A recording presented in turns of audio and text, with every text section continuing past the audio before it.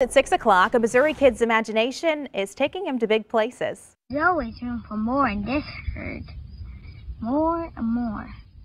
Paxton Uchtman is seven years old. He lives in Rogersville. This is video of him playing with animal figurines, and it has the chance to play in Times Square.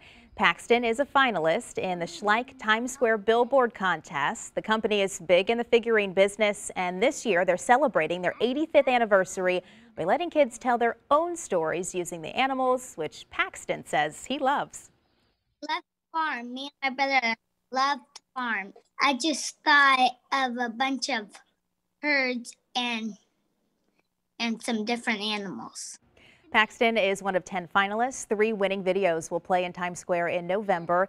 You can vote until Sunday on the Schleich Instagram and Facebook pages.